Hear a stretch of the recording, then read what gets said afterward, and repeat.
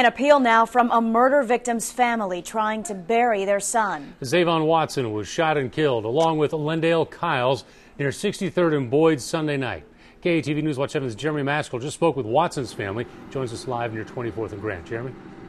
Rob, the family telling me just moments ago Zavon Watson was working on his diploma, had a job, and was hoping for a better life with his one year old daughter when someone shot him Sunday evening.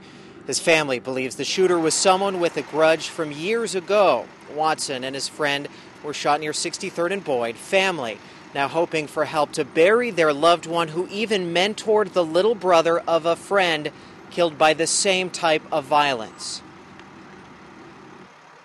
The respect that they received from him was just that's something that touched a lot of people. They he was yes, ma'am, no, ma'am. He watched his mouth around anyone um, elder, um, and he just was a loving and caring young man.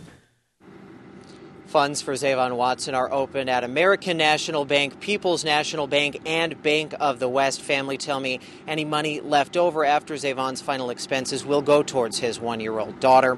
At 6 o'clock, Impact One talks about its efforts to prevent this exact type of violence that claimed these two lives Sunday evening. Reporting live near 24th and Grant, Jeremy Maskel, KETV News Watch 7.